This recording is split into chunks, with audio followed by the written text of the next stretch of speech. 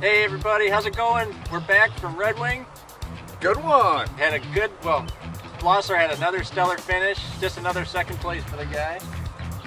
Six. So uh, I'm just going to let him take the wheel on this one since I had kind of a tough finish. It was a tough tournament overall. Brett King going into this was probably one of the favorites. He really didn't disappoint. He had a good first day. No, yeah, he had a stellar dirt too. Yep. You know that that was probably one of the top three roughest pre-fishes we've ever had. I mean, every day was either rain or snow for six days straight. The one morning we woke up to six inches of snow on the ground. I don't think it ever got above 35 for pre-fish every day.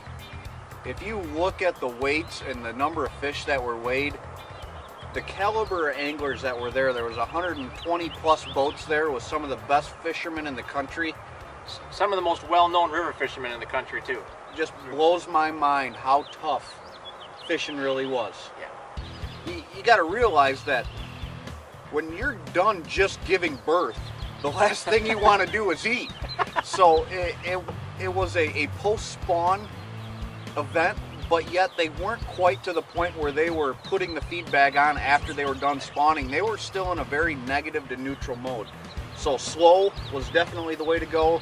And, and when I say slow, like 0.2 to 0.4 miles an hour, and 0.4 was getting on the fast end for me. Um, so yeah, it, it was slow, it was monotonous. You really didn't feel like you were covering any ground, but that's what it took. Right. So finding the fish initially, the major technique to finding those fish was just pulling three ways upstream. Yep. And to find those fish, we had two different presentations. One here, this is called a Dubuque rig.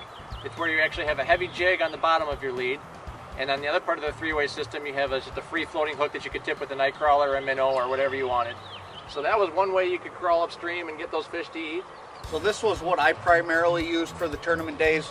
We got a three-way with the short dropper. Weight depended on the current you were working in.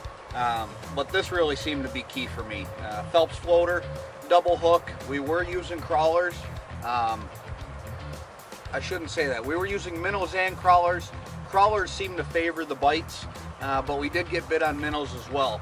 Uh, but the Phelps floater, helped keep that bait up in that current because it was pretty stiff current we were working and you had to be able to get your bait up somehow and it, it seemed like this Phelps floater was the key for that. Yep, I agree. If you just went with a plain hook, the current wanted to lay it down into the bottom and you come up with a lot of debris because there was a lot of debris being flushed downriver from all the rain and snow that we've had.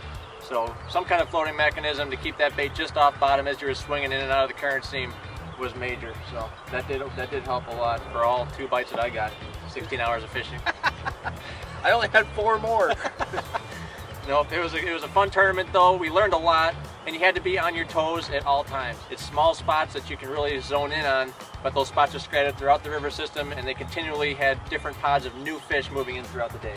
Oh yeah, I, I mean, you could either find a spot and wait the fish out, which worked for some people, or you could take the run and gun approach and try to hit as many spots as possible and try to contact the fish that way.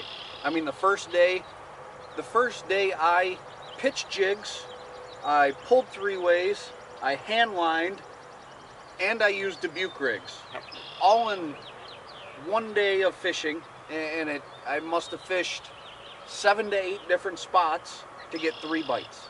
There was 44 zeros on day one, but by no means were any one of those guys out of that tournament because time and time again, tournaments up on pool four, a 40 pound bag in one day is not unheard of. I mean, there's some quality fish there, and when you find that right little magical spot, boy, you can get healthy quick and, and put a lot of big fish in the boat. I agree. So, no, that tournament's out of the way. The Blosser almost got it done again. And uh, now we're moving on to a new venture. Actually, we're, we're headed up to Sturgeon Bay in about a week, and we're going to be playing around in that Sturgeon Bay Bass Open. And neither of us have a ton of experience up there, especially bass fishing, especially that time of year. But it should be a lot of fun. I'm looking forward to it. It's a bass, dude. How hard they? How hard can they be to catch? Yeah, it's a exactly, bass. Exactly. So we're just going to go catch them, right? It's that easy. No problem. so tomorrow we got to get rested up. I'm, I'm going to film a turkey hunt with him in the morning, so hopefully I'll have some more footage for you guys soon. I do apologize for the lack of footage we've had over the past couple weeks, but we will have some more for you moving forward. So appreciate tuning in, guys, and uh, we'll be talking to you soon. So take care. Take care, everyone. We'll see you soon. See you.